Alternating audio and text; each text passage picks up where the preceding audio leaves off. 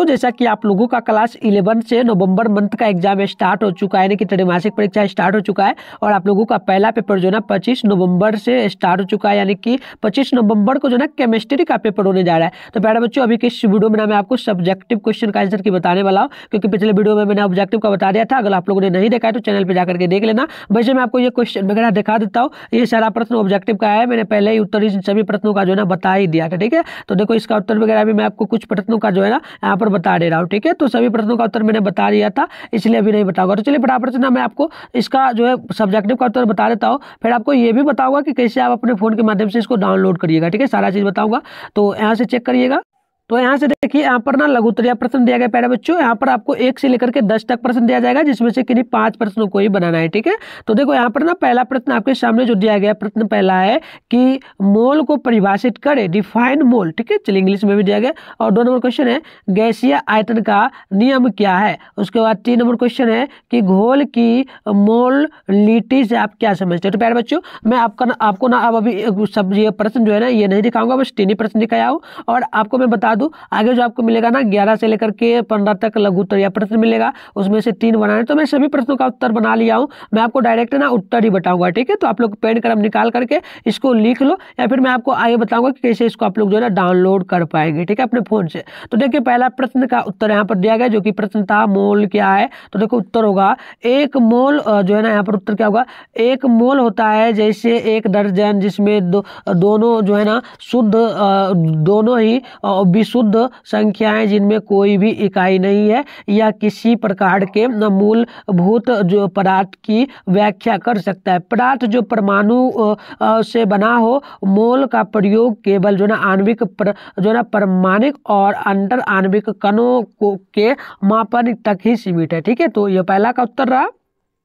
आगे देखिए, ये दो नंबर प्रश्न था तो दो नंबर का भी उत्तर यहाँ पर लिखा गया प्रश्न की, प्रश्न क्या था कि नियम कहता है कि जब भी गैसों के गैसों एक साथ क्रियाएँ करती है तो वे ऐसे आयतन के संयोजन में करती है, जिसमें वह एक दूसरे के लिए जो ना तरल पूर्ण संख्या अनुपात और उत्पादों के साथ भी बनते हैं, यदि वे गैसीय रूप में हो तो। चलिए उसी प्रकार से ना, तीन नंबर क्वेश्चन आपने देखा ही था, इसका भी उत्तर यहाँ पर लिख दिया गया है मोरेलिटी को एक किलोग्राम विलायक में जो ना निर्हित विलय के कुल मोल के रूप में परिभाषित किया गया है। मोलोलिटी को जो है ना मोल घोल सांड्रन के रूप में भी जाना जाता है। या किसी घोल के विलय विलय की जो ना सांद्रता की माप का सेल, इसके आगे थोड़ा सा और आपको एड कर लेना सांद्रता की सेल था, ठीक है? चलिए आप चार नंबर प्रश्न मैंने आपको दिखाया नहीं था प्रश्न प्यारे बच्चों बट उत्तर डायरेक्ट बता रहा हूँ, आप लोग लिख लो, ठीक है? बिल्कुल यही आपके एग्ज़ाम में सौ परसेंट आएगा, यह मेरा बाधा है, ठीक है ना?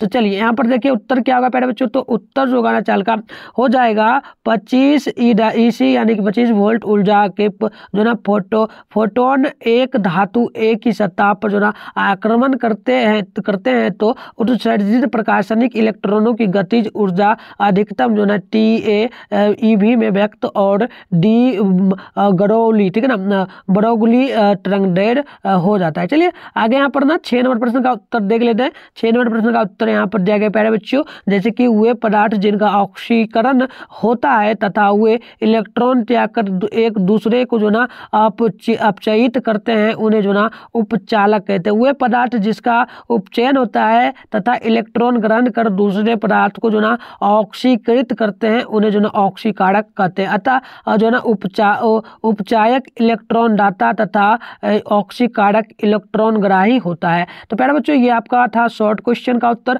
आप, आपको ना मैं आपको दीर्घ उत्तर यानी कि लॉन्ग क्वेश्चन का उत्तर बताने जा रहा हूँ। तो यहाँ से देखना, पहला प्रश्न का उत्तर लिखा गया ग्यारह नंबर का, ठीक है ना? तीन प्रश्न बनाना होता है इसमें। तो देखो रबर फोर्ड पूछा गया था क्या है? तो रबर फोर्ड ने गणना करके दिखाया है कि नाभिक का आयतन परमाणु के कुल आयतन की तुलना में नग्न परमाणु की त्रिज्या लगभग दस बाय दस होती है। वह वे ना, नाभिक की त्रिज्या दस दस से पंद्रह होती है। परमाणु का धनावेश और द्रव्यमान एक अति अल्प क्षेत्र में केंद्रित होता है। यह रबर फोर्ड की नाभिक ने कहा था। ठीक है? तो ये रहा ग्यारह का उत्तर। आगे बढ़ते हैं यहाँ पर बात तेरह नंबर क्वेश्चन का उत्तर लिखा गया। बेटा बच्चों तो उत्तर होगा। जो ना ऑफ़ हाउ एक जो ना जर्मन शब्द है, जिसका अर्थ एक एक कर जोड़ना। इस सिद्धांत के अनुसार किसी कक्षा तथा उपकक्षा में इलेक्ट्रॉनों का प्रवेश ऊर्जा स्तरों को बढ़ते ऊर्जा के क्रम में जो ना, एक एक कर होता है। तो चलिए आगे यहाँ पर चौदह नंबर क्वेश्चन का उत्तर लिखा गया पहले बच्चों। तो चौदह नंबर क्वेश्चन था जो है ना, मोरलता। तो मोरलता क्वेश्चन था कि मोरलता क्या है तो देख लेना यहाँ पर। मोलता बराबर आपको लिखना है कि विलियन के एक लीटर में विल, विलीन विलिया के मोलों की संख्या विलियन की मोलल्टा मोरलता कहलाता है। ठीक है ना? तो उसके बाद लिख देना मोरलता बराबर एक किलोग्राम विलायक में जो है ना विलीन विलायक के मोलों की संख्या विलियन की मोरलता कहलाती है। तो पहले बच्चों ये था आपका केमिस्ट्री का क्वेश्चन। तो मैंने आपको टोटल बता दिया। अब आपको ना चैनल को सब्सक्राइब कर लेना है। नेक्स्ट जो पेपर आपका होने वाला है उसके लिए ताकि जैसे ही वीडियो आप चैनल पर अपलोड होगा, आप आराम से आकर के देख पाओगे। आप चलो आपको बताता हूँ कैसे पीडीएफ आप डाउनलोड करोगे। तो पहले बच्चों, आपको पीडीएफ डाउनलोड करना है ना तो आपके मोबाइल में गूगल या फिर क्रोम होगा, उसमें आपको चले आना है, ठीक है?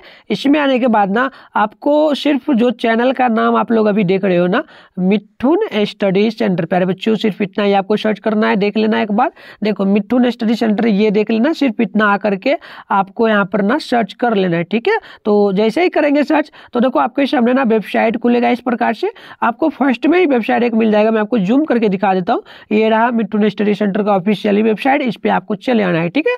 तो इस पर हम लोग क्लिक करेंगे तो आपके सामने ये देखिए पूरा का पूरा जो है ना, खुल करके आ गया पेज अब यहाँ पर आपको क्या करना है, थोड़ा सा स्क्रॉल डाउन करके नीचे चले आना है, ठीक है? तो जैसे ही नीचे आओगे ना तो आपको यहाँ पर एक सेशन मिलेगा देखने को क्लास इलेवंथ का। तो इसमें जो है ना, आपको यहाँ पर क्लिक कर देना है। जैसे ही क्लिक करोगे तो ये आपके सामने खुल करके आएगा। तो पहले बच्चों, आपको जो है ना आर्ट साइंस का पेपर चाहिए। तो साइंस के लिए ना, यहाँ पर देखो सेशन दिया गया है। तो यहाँ पर आइए, आपको जिस भी सब्जेक्ट का पेपर चाहिए, यहाँ पर देख लीजिए, जिस भी सब्जेक्ट का चाहिए, आपको डाउनलोड बटन पर क्लिक करके जो है ना डाउनलोड कर लेना है। तो चलिए मिलते हैं नेक्स्ट वीडियो में।